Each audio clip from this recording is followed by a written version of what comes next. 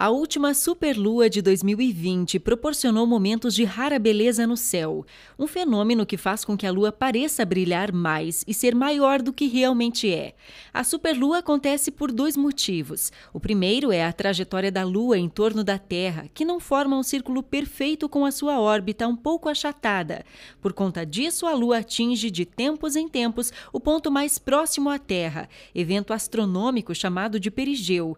Para o fenômeno ser visível, é preciso também que seja época de lua cheia. Sem dúvida, um verdadeiro espetáculo que pôde ser observado com o céu limpo em todo o Brasil. A próxima superlua está prevista para abril de 2021.